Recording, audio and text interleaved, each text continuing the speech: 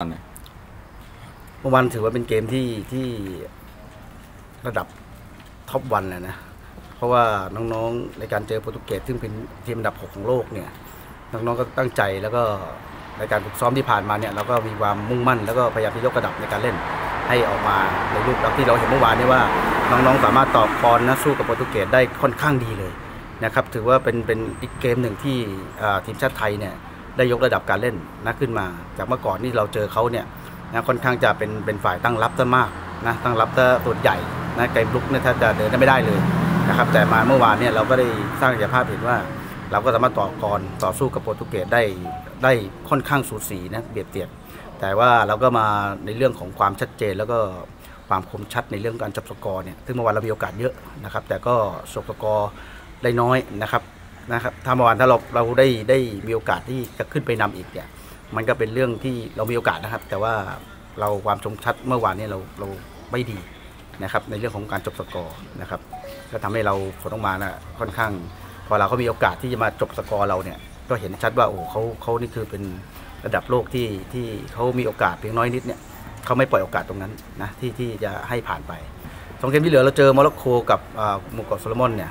นะเป็นเกมที่เราต้องต้องเก็บแต้มนะสามแต้มให้ได้ทั้งสองเกมนะครับเพื่อเพื่อการันตีให้เราเข้ารอบนะครับในรอบรอบสองนะครับก็ทุกคนก็ตั้งใจแล้วก็มุ่งมั่นนะครับแล้วก็ก็ค่อนข้างจะมีความชัดเจนขึ้นในเรื่องของการเล่นที่เราจะต้องอเตรียมแผนรับมือกับกับสองทีมไว้แล้วนะครับ ความน่ากลัวของของโมร็อกโก เรามองว่าตรงจุดไหนบ้างครับ ในเรื่องของของของเขาเล่นเนี่ยเขาค่อนข้างจะมีความขยันนะครับ แล้วก็มีการเคลื่อนตัวที่ดีนะครับ ค่อนข้างจะทำให้เราเนี่ยนะก็ต้องต้องมีความเข้มงวดในเรื่องเกมรับเนี่ยมากขึ้น ฉะนั้นเราก็ต้องมองว่าอ่าทุกอย่างเราเราชี้ผลไปที่3สแตสามแต้มนะครับ ก็ต้องต้องมีความรัดกุมในการเล่นนะฮะครับผมว่าทุกคนก็ก็ส่วนหนึ่งก็คือว่าพอใจระดับหนึ่งในเรื่องของของของการเล่นนะครับ แต่ว่าในเรื่องของผลที่ออกมาเนี่ยเราก็ค่อนข้างจะเสียดาย นะครับที่ที่เราไม่มีแต้มออกมานะครับก็ถือว่าทุกคนก็ยังมีขวัญกำลังใจที่ดีนะครับแล้วก็พร้อมที่จะทำหน้าที่ในเกมที่ 2 และเกมที่3นะครับ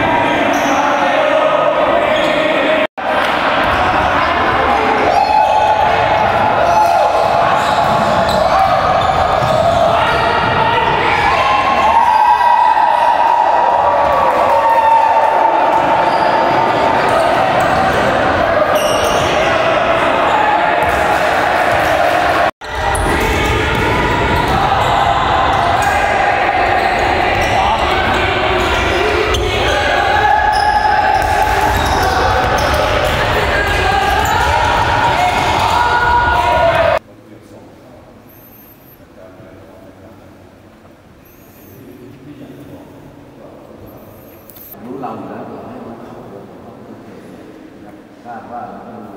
วิดีโอดูเกมการเล่น